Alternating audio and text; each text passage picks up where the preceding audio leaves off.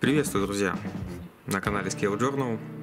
Сегодня небольшое видео о посылках.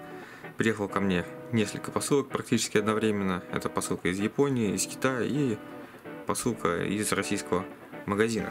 Собственно, вот они все здесь. Решил не разбивать на отдельные видео. Сейчас за раз все покажу. Так что давайте не будем задерживаться и посмотрим, какие обновки приехали ко мне. Ну и предлагаю начать с маленькой посылки. Это пара посылок из Китая.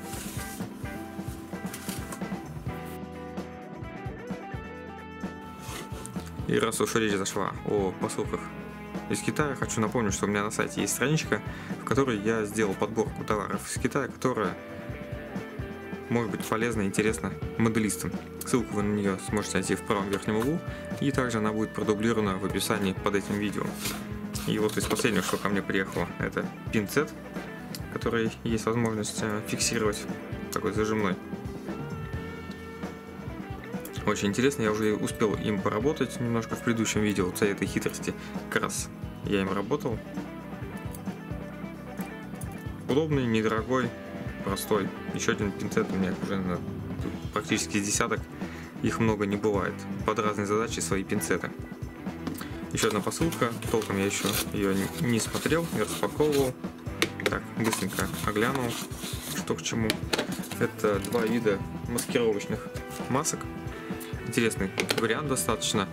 А, это что-то нечто среднее между блютаком и жидкими масками. А, у продавца в Китае было два варианта. Это черная и синяя. Черная, соответственно, она более жестко идет, синяя более мягкая. Они уже были запакованы внутри пакеты, но я их уже достал, они вот растек... растекли. Сейчас попробуем достать, показать вам, что это примерно из себя представляет. Да, хорошо так затекла. Вот, но видите, ну, как пластилин своеобразный. Хорошо тянется, хорошо можно укладывать тонкие полоски камуфляжа. Не знаю, я еще не пробовал. Если интересно, друзья, пишите в комментарии. Будет время, и сниму отдельный ролик про эту маскировочную ленту. Как она себя ведет, как можно применять. В общем-то, в планах отдельного ролика пока нет. Ну, если прям много-много желающих будет, и будет у меня время на это, то обязательно сниму. И тут она черный вариант, как я уже сказал, что пожестче. И вариант такая синяя, голубая. Она помягче. Стоят они дешевле, чем испанские аналоги, раза в два. Ну, по виду вроде то же самое. Так что будем смотреть, пробовать. В каком-нибудь видео они точно, наверное, засветятся. Это вот что китайцев, касается вот этих китайских посылок. Сейчас их откладываем. Переходим дальше. Давайте вскрою посылку из Японии. Тут у меня модель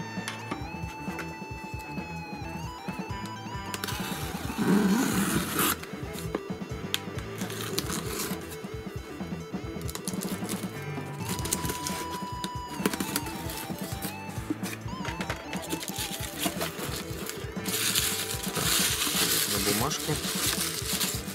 коробку убираем. Ну и помимо бумажки, японцы еще упаковали все это в куплер.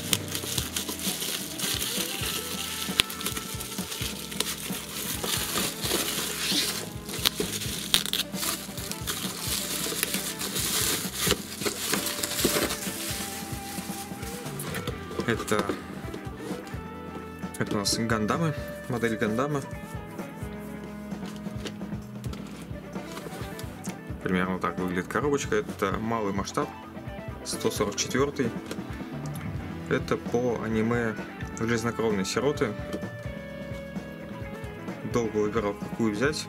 Это у меня, кстати, вторая коробка. Первую коробку я даже не успел показать. Там тот же самый персонаж, только другой мобильный доспех, который он использовал. Ну, если, опять же, интересно, как-нибудь покажу. Может быть, даже сделаю обзорчик. Я не знаю, особо, наверное, рассказывать нечего, поскольку я практически ничего про это не знаю. Могу лишь показать на свою а, литники, они уже по цветам, в принципе, при желании. Можно просто собрать, не красить, они достаточно яркие, ну и плюс наклейки в комплекте. Я, конечно же, собираюсь не просто собрать, но и покрасить. Инструкция здесь у нас идет, получается, только на японском. Ну, я думаю, что проблем не должно возникнуть. Вроде показано все достаточно подробно. Когда я буду собирать эту модель, я не знаю. Взял ее как тренировочную, потому что у меня еще буду есть вторая моделька. Она в сотом масштабе, более крупная. Но вот ее не решился собирать, потому что ну, немножко страшновато, потому что что-то новое, надо на чем-то попроще потренироваться, поэтому взял вот эту в 144 масштабе. Что ж, задерживаться не будем, давайте посмотрим, что еще приехал ко мне. Это уже посылка из российского магазина. Здесь не особо чего много, но давайте достаю, посмотрим. Первое, это вот такие джасовские пластиковые зажимы. 15 штук, э, максимально зажимаемый размер 25 миллиметров. Когда у меня сломался. Последняя прищепка, которую я раньше использовал для фиксации каких-то вещей. Вот, решил наконец-таки, что пора бы, наверное, сказать что-то более подходящее. Ну, такие вот зажимы, как ни кстати, подойдут и будут меня выручать, когда нужно склеивать какие-то мелкие детали, ну и подобное.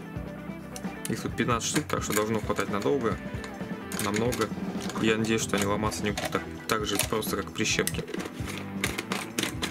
Так, это первая позиция.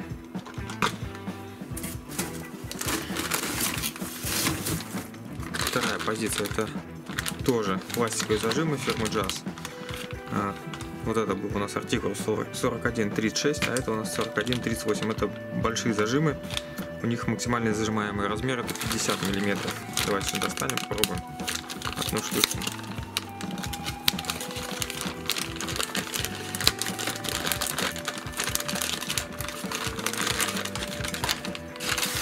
В принципе, при работе с моделями такие большие зажимы, ну, наверное, могут где-то потребоваться. Да я даже не знаю, я в основном брал эти зажимы, чтобы фиксировать фоны для фотографии, прижимать к столу таким вот образом. Вот. Ну, посмотрим, может быть где-то и при сборке модели пригодятся. Может быть где-то там при сборке корпуса подойдет. И здесь у нас получается в упаковке а, раз, два, три, четыре, пять, шесть, семь, восемь тоже без дела лежать не будет. Еще одна позиция это запасные стержни для маркеров молотов хром. Ну, они, скорее всего, не только для хрома подходят, но я брал для хрома. К сожалению, мой маркер вот, для таких маркеров